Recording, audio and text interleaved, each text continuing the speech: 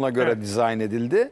E, meclisteki Sayın meclis aritmatiği bir araya girelim Tamam. çünkü bir yandan da bir önemli bir gelişmemiz var. Sabah namazı için İstanbullu vatandaşlar Ayasofya Camii'ne akın ediyorlar. Mehmet Seyrek karşımızda İstanbul'da yağış da Bayağı var da bugün. yağış var. Biz farkında değiliz Evet. saatlerdir değil mi? Binada İstanbul'da yağış var sözü hemen Mehmet'e bırakalım. Gökhan Kurt e, şu anda İstanbul e, sağanağın etkisi altında ama önemli bir gece. Çünkü e, Ayasofya'yı Kebir Camii Şerifinde bir yandan da bugün İstanbul İstanbul'un fethini kutlayacağız.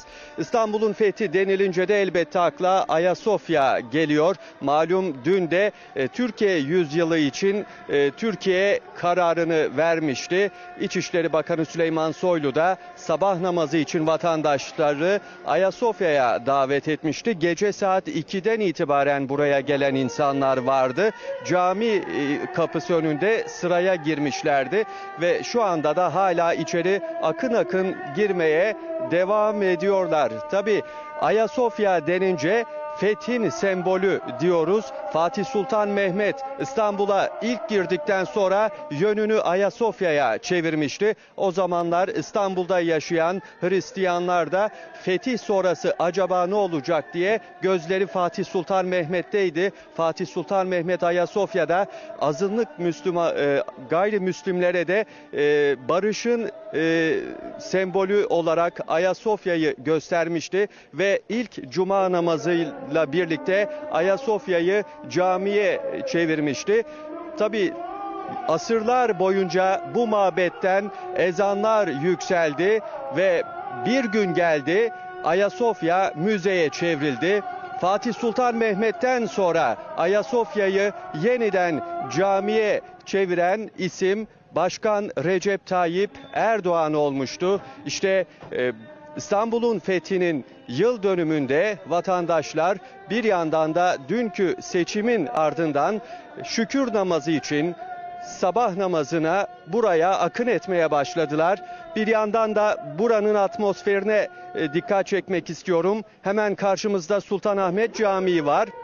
Burada ezan okununca her iki caminin müezzini de karşılıklı olarak ezanı nidasını işte bu şekilde duyuruyorlar. Ben çok kısa ezana kulak verelim diyorum. Çok kısa.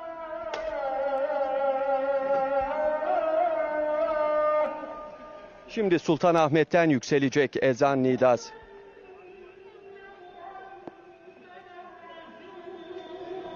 Gerçekten çok manevi bir atmosferin önündeyiz. Vatandaşlar ellerinde Türk bayraklarını görüyoruz.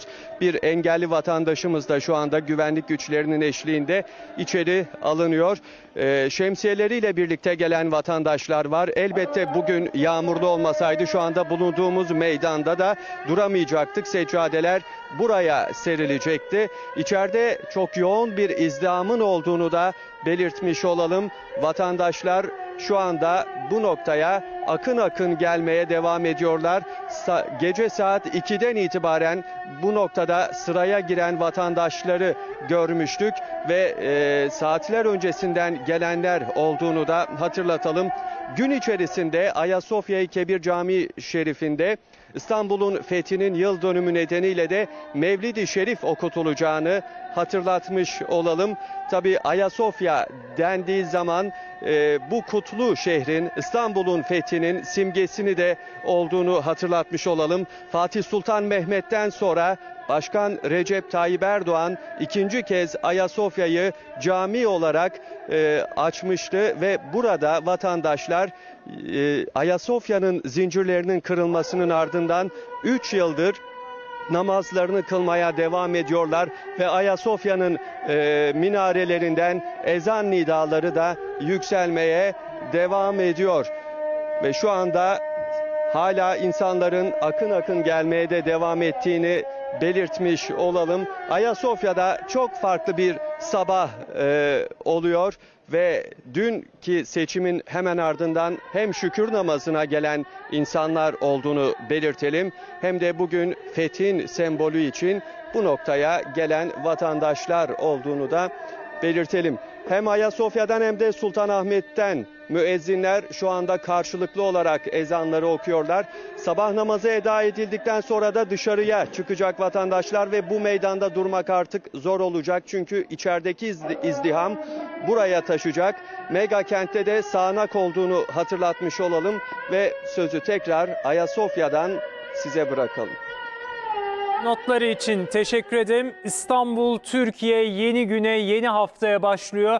Artık 5 yıllık bir istikrar sürecine bir kez daha Türkiye adım atmış durumda. Ee, Mehmet'e gitmeden önce Yusuf Alabarda ile birlikteydik. Onun sözünü kesmiştik. Sözü tekrar Yusuf Alabarda'ya bırakalım. Evet güzel bir e, ortamdan Mehmet de bildirdi.